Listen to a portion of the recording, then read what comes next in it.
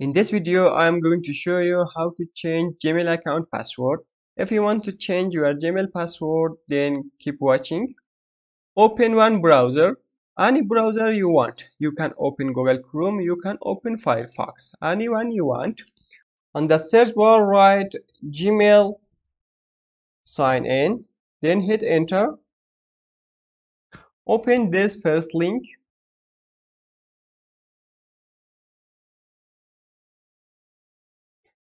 enter your email address.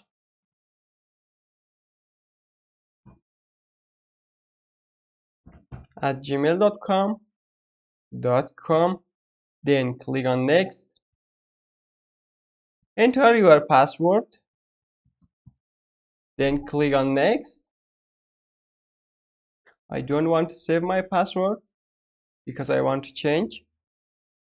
If this page appear for you click here not now in the right corner we have gmail profile. Click here then click on manage your google account. Look here we have security. Click on security. Then scroll down. Here we have password. Click on password. Look from this page we can change our gmail password.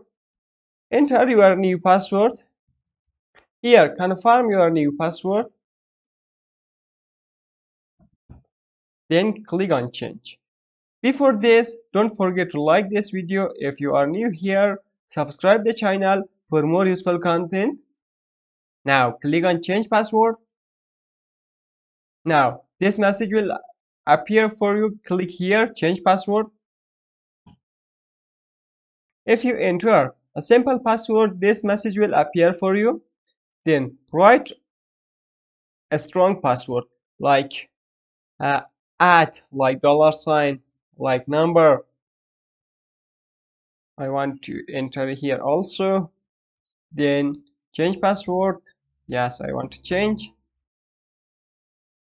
Now I successfully changed my Gmail account password. Before closing the video don't forget to like this video and share this video.